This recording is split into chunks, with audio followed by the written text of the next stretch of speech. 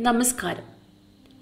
മാർക്കണ്ഡേയ കഡ്ജു എന്ന മുൻ ജഡ്ജി തന്റെ ഫേസ്ബുക്കിൽ കുറിച്ച വരികളും പങ്കുവച്ച ചിത്രവുമാണ് ഇപ്പോൾ സോഷ്യൽ മീഡിയയിൽ ഏറെ ശ്രദ്ധ നേടുന്നത്.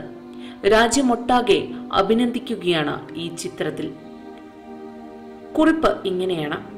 ഇന്ത്യയിൽ ഇപ്പോഴും ഇങ്ങനെയുള്ള ന്യായാധിപന്മാരുണ്ട് എന്നതിൽ ഞാൻ അഭിമാനിക്കുന്നു. മുൻ ജഡ്ജി മാർക്കണ്ടയെ കടിച്ച് തന്റെ ഫേസ്ബുക്കിൽ കുറിച്ച വരികളും പങ്കുവച്ച ചിത്രവും രാജ്യമെങ്ങും വൈറലാവുകയാണ്.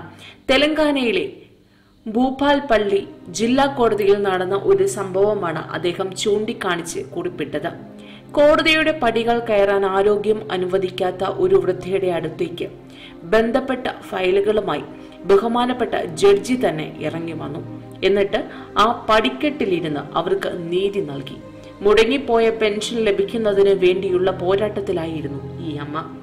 പടിക്കെട്ട് കയറാനാകാതെ വിഷമിച്ചിരിക്കുന്ന വൃദ്ധയുടെ കാര്യം കോടതിയിലെ ഒരു ക്ലർക്ക് പറഞ്ഞാണ് ജഡ്ജായ അബ്ദുൽ ഹസീം അറിഞ്ഞത്. എന്നാൽ അങ്ങോട്ട് പോകാമെന്ന് ജഡ്ജി തീരുമാനിച്ചു. പ്രധാനപ്പെട്ട ഫയലുകളും എടുത്ത് കോടതിക്ക് മുന്നിലെ പടിക്കെട്ടിലെത്തി. വൃദ്ധയുടെ പ്രശ്നങ്ങൾ കേൾക്കുകയും കേസിൽ പരിഹാരം വിധിക്കുകയും ചെയ്തു.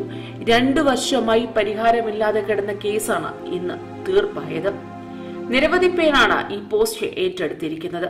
എത്ര നല്ല മനുഷ്യനാണ് അദ്ദേഹം. സ്വന്തം പദവി നോക്കാതെ അദ്ദേഹം ഇറങ്ങി വന്നു. അതുകൊണ്ട് തന്നെ അദ്ദേഹത്തെ ഏറ്റവും നല്ല മനുഷ്യരുടെ കൂട്ടത്തിൽ പരിഗണിക്കണമെന്നാണ് എല്ലാവരുടെയും അഭിപ്രായം. കൂടുതൽ വാർത്തകൾക്കായി ഈ ചാനൽ സബ്സ്ക്രൈബ് ചെയ്യുക.